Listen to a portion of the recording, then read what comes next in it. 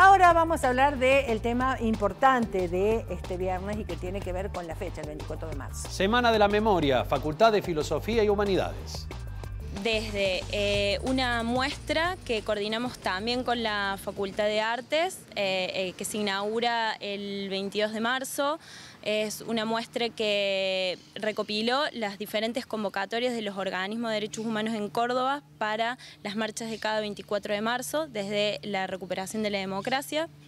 Eh, conversatorios eh, coordinados también con las áreas de género, en donde vamos a intentar reflexionar sobre las experiencias y las trayectorias de mujeres que padecieron la persecución y que padecieron eh, sus vidas en el campo, en campos de concentración y de qué modo también eh, hubo diferentes eh, mecanismos de supervivencia y estrategias también para seguir adelante.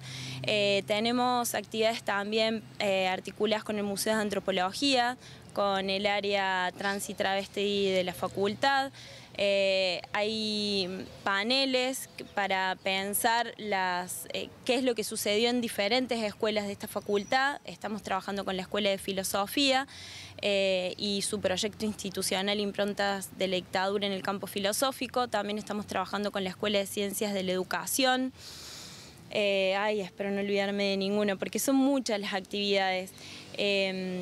También eh, estamos en una muestra, vamos a inaugurar una muestra el 31 de marzo con la Escuela de Letras, eh, en donde también trabajamos coordinadamente en la organización con familiares de una de las estudiantes desaparecidas de la Escuela de Letras.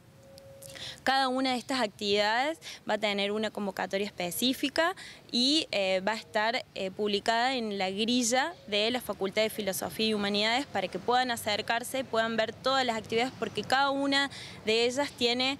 Eh, la mirada justamente en esto que decía, en poder cruzar trayectorias, análisis, reflexiones que se desarrollan a lo largo de todo el año en la facultad.